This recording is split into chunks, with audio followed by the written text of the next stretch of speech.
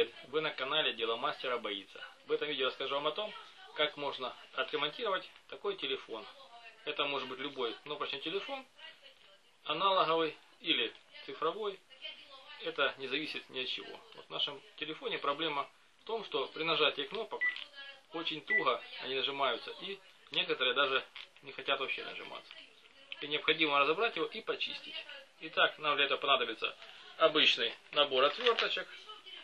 И начнем разбирать. Для начала необходимо вытащить аккумуляторы с телефона, чтобы добраться до всего механизма. Теперь берем обычную крестообразную отвертку и откручиваем два шурупа с обеих сторон для того, чтобы добраться до сердцевины телефона.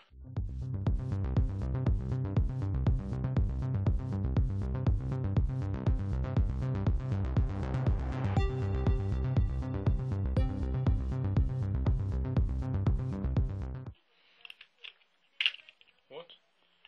Здесь при открывании стараемся не оборвать этот проводочек динамика, потому что если мы оборвем, придется его припаивать. Для того, чтобы добраться до клавиатуры телефона, здесь также необходимо открутить два шурупчика, которые фиксируют контакты заряда.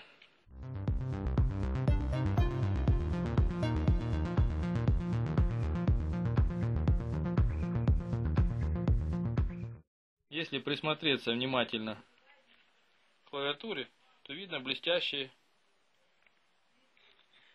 пятна. Здесь вот возле кнопки, здесь.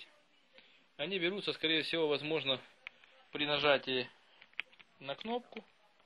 Сюда попадает жир под клавиатуру и затекает сюда, потому что наша бабушка любит готовить и пользоваться телефоном одновременно с этим. Необходимо взять или щетку старую зубную, или ватку со спиртом и протереть эту поверхность и поверхность, которая контактирует с клавиатурой. Видно, что аж блестит вот в некоторых местах.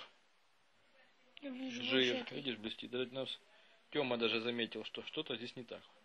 Теперь нам понадобится обычная старая зубная щетка, клавиатура и хозяйственное мыло или туалетное, в зависимости от того, что у кого есть. Начнем мыть.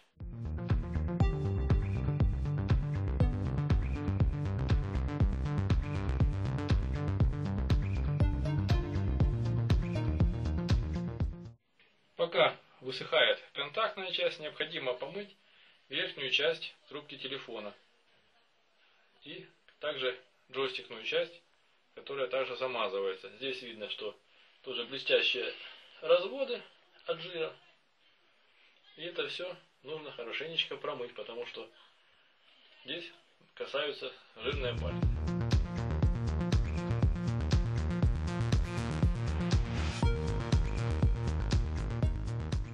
Батарея не очень горячая, поэтому будет высыхание проходить плавно. Пока высыхают пластмассовые части, берем обычный спирт медицинский, варлечку или ваточку и начинаем вытирать саму плату управления.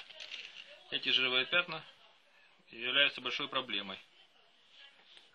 Смачиваем обильно марлю и начинаем протирать. Можно использовать ушные палочки для тоненьких мест.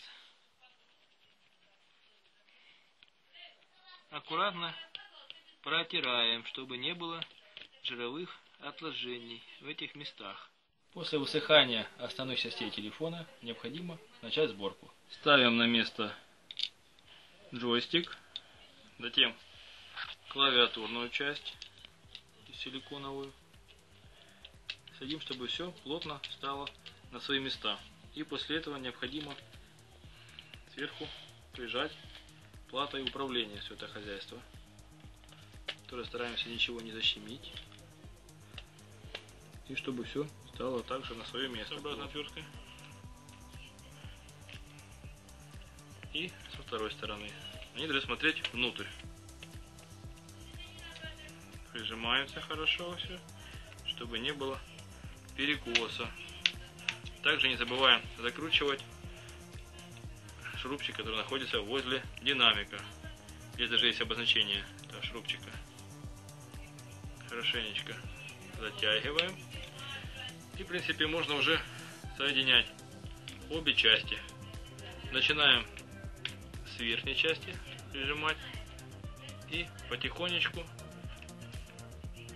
идем вниз. Вот оно фиксируется на все зажимы, почти как в мобильном телефоне. Вот оно все защелкнулось.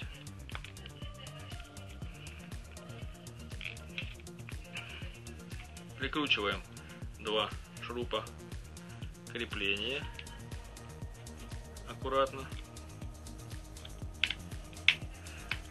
Они отличаются от тех шурупчиков длиной и размером головки.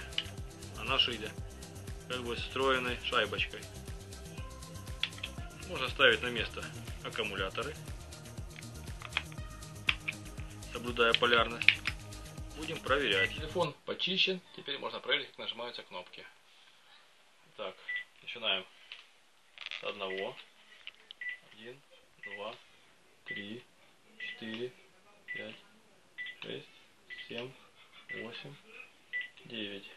Все кнопки работают. Мы посмотрели видео, как своими руками можно почистить кнопочный телефон для проводной связи. Ставьте лайки, пишите замечания, комментарии. Будьте с нами. Всем пока.